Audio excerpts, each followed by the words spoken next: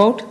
This is about IBC related matters, where uh, many businesses have got severely affected, particularly during this lockdown and also the COVID pandemic.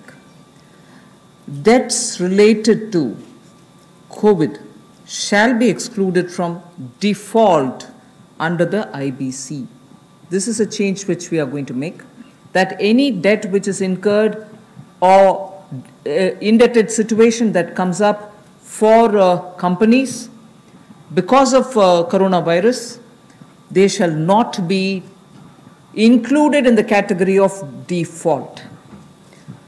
Then no fresh insolvency procedures or proceedings will be initiated up to one year.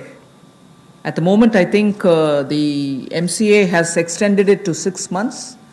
We intend extending it even by another six months because, after all, when the lockdown gets lifted immediately, you, you're not sure how much of business will get restored. So, no fresh insolvency proceedings will be initiated up to one year.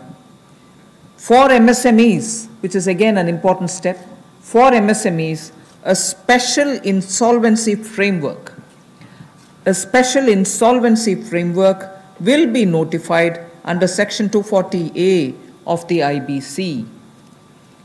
One other thing which will benefit the MSMEs is the minimum threshold to initiate insolvency proceedings is now raised to 1 crore from 1 lakh, which uh, will therefore insulate the MSMEs.